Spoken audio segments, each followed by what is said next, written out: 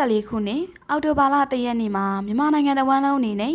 လူဦးရေနှင့်အိမ်ကျောင်းရာတကောင်စင်းကောက်ယူရေးလုပ်ငန်းများကိုအကောင့်ထဲပေါ်ဆောင်ရွက်လျက်ရှိရာရှမ်းပြည်နယ်ရှိပိုင်းတာချီလိတ်ခရိုင်မိုင်းဖြတ်မြို့နယ်မှာလူဦးရေနှင့်အိမ်ကျောင်းရာတကောင်စင်းကောက်ယူရေးလုပ်ငန်းများကိုမြို့နယ်တကောင်စင်းကော်မတီဤကြီးကြပ်မှုနဲ့ဒီကနေ့အောက်တိုဘာ1ရက်နေ့နနက်ပိုင်းမှစပြီးမြို့နယ်အတွင်းရှိရက်ကွက်နှင့်ကျေးရွာများတွင်စည်ရင်ကအဖွဲ့များကတအိမ်တက်စည်ရင်ကောက်ယူလျက်ရှိကြောင်းသိရပါတယ်။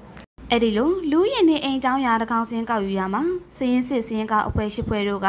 မြို့နယ်အတွင်းရှိရက်ကွက်နှင့်ကျေးရွာများမှာကွန်ပျူတာအထောက်အကူပြုလူငယ်တဦးချင်းကောက်ယူသည့်စနစ်ဖြင့်မွန်မိုင်းတက်ပလက်များကိုအသုံးပြုကာအိမ်နောက်စုမိခွန်းပုံစံ68ခု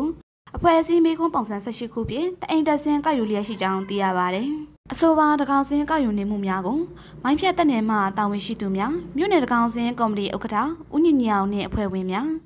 လူဝင်မှုကြီးကြပ်ရေးနှင့်ပြည်သူ့အင်အားဝန်ကြီးဌာနမြို့နယ်ဦးစီးမှုရုံးမှမြို့နယ်ဦးစီးမှုဦးစော်မျိုးဝင်းနှင့်ဝန်ထမ်းများ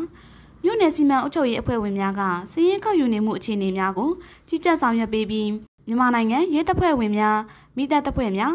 တပ်ဆိုင်ရာရက်ကွက်နှင့်ကျေးရွာများမှအုပ်ချုပ်ရေးမှုများနှင့်စည်ရင်များကပူးပေါင်းဆောင်ရွက်ပေးလျက်ရှိကြောင်းသိရပါတယ်။ကျမကတော့နင်းနုထွေးပါရှင်။